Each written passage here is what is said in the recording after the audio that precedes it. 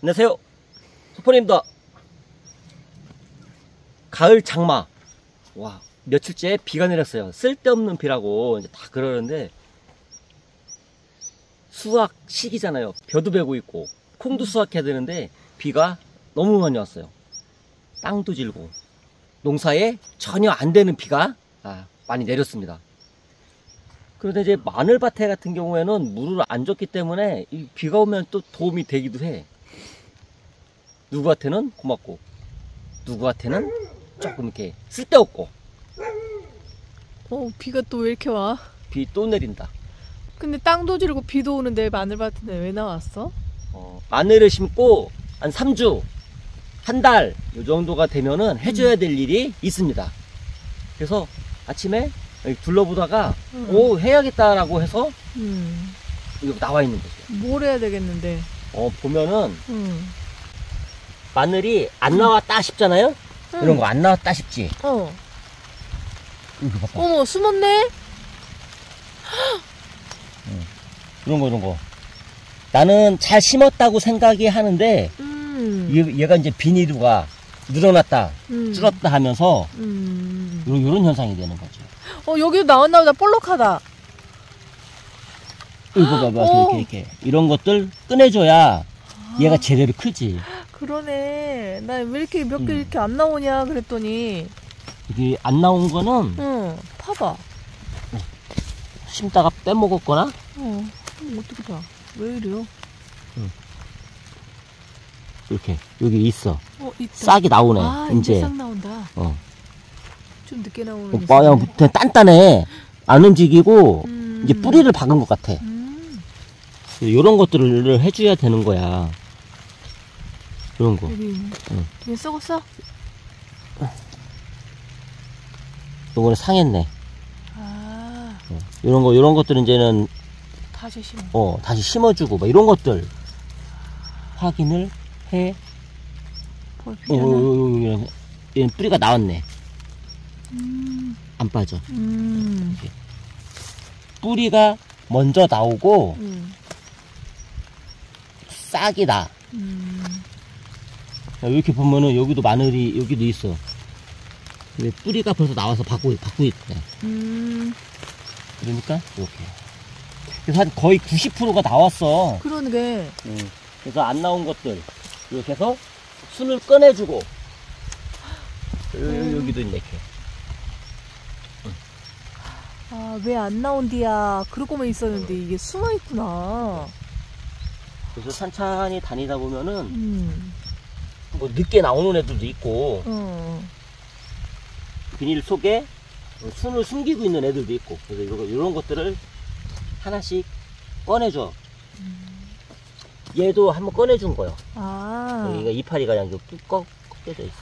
안 그런 애들은 이게 빳빳하게 잘 서 있는데. 음. 저렇게 큰 게 숨어 있었으니 그래요. 힘들었겠네. 순도 꺼내주고, 안 나오는 애 썩은 거 있나 확인도 하고, 음. 또 이렇게 풀. 이게 풀 작업. 이게 겨울을 나더라고, 얘가 풀이. 이렇게 추운데 풀이 이렇게 나냐? 지금 마지막 발악을 하는 거지, 바로. 마지막 풀이야. 음. 아, 더 늦, 늦기 전에 빨리 해야겠다. 얘 속에서 엄청 많이 컸네. 음. 안 그러면은 이제 밑에서 노랗게 음. 구부러져 갖고, 음. 일 이쪽 구멍으로 나와, 이렇게. 맞아. 아니면 나중에 꺼낼 때 너무 커버리니까 부러지더라. 그냥 꺼낼 때 부러져. 근데 진짜 잘 나온 거는 엄청 잘 자랐다. 너무 큰 거 아니야? 아니요. 와, 이것 봐. 큰 거는 내 한 뼘보다 더 컸어, 지금. 초기에는 일찍 나온 애들은 크고 늦게 나온 애들은 작은데 음. 이게 이제 겨울을 이제 겨울을 나면서 음. 얘가 고르게 자라. 음. 풀 좀 뽑아라.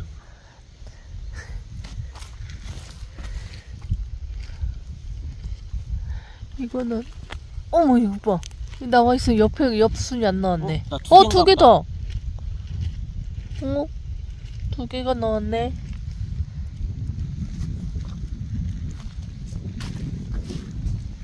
그리고 또 뭐 따로 해야 되는 건 또 있어? 어? 이거 심어야겠다. 아까 거기에다가. 이렇게, 이렇게 뿌리가 나. 빠졌, 오. 빠졌나 보다. 잉. 떨어져 있는 것들. 그래서 만약에 이게 빠진 데다가 심는다 음. 그러면은 지금 이게 내가 하고 싶었던 건데 이게 딱 있네. 음. 물에다가 좀 담그도 어, 빨리 나라고. 뿌리가 이게 낮잖아. 어. 그러면 이거 갖다 심는 거예요. 그러면은 빨리 나오지. 그러면 이거 심을 때 몇 개를 이런 작업을 해놔도 좋겠네. 죽은 거 빨리 떼우게. 근데 이 며칠만 지나면 된게 어, 신기하네. 이 음. 주소서 얘기 신기하다. 다 있어 안에. 아, 안에 뽑아서 다 뿌리 보여줄까? 아니야. 아까워. 이게 죽으면 어떡해.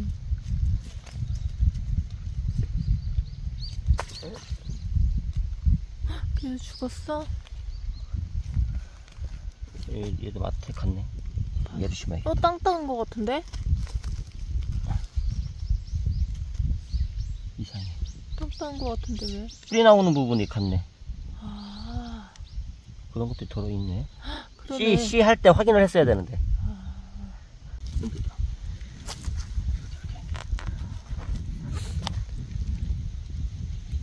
이거 말고는 이제 또 이제 해줄 건 없지? 지금 응. 해줘야 될 것들이 순 꺼내주고 종자가 썩었나 안 썩었나 하나씩 음. 확인해 보는 거. 음. 잘 올라오는지. 이제 풀 음. 이런 것들. 꼭이 구멍 있는데 다 올라온다 옆으로. 이렇게? 어, 옆에 있네. 어머, 얘 봐. 이렇게 숨어 있었구나. 세상에.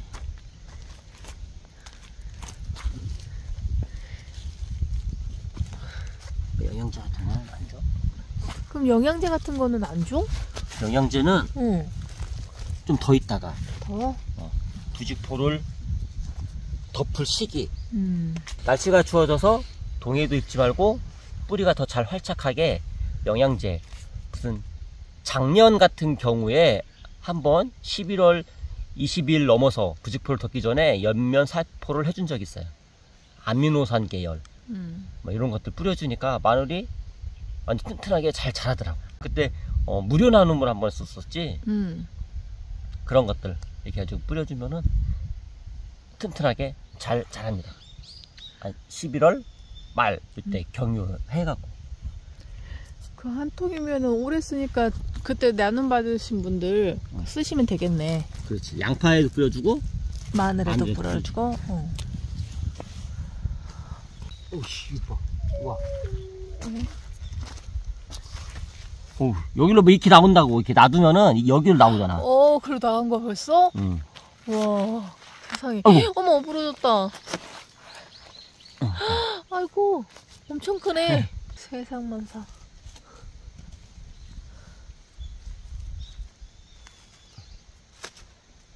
이런 풀들이 부직포를 덮어놓고 해도 겨울에 안 죽더라고. 더 크, 잘 크지. 어. 응. 그래서, 부직포 덮기 전에 한번 뽑아야지. 어.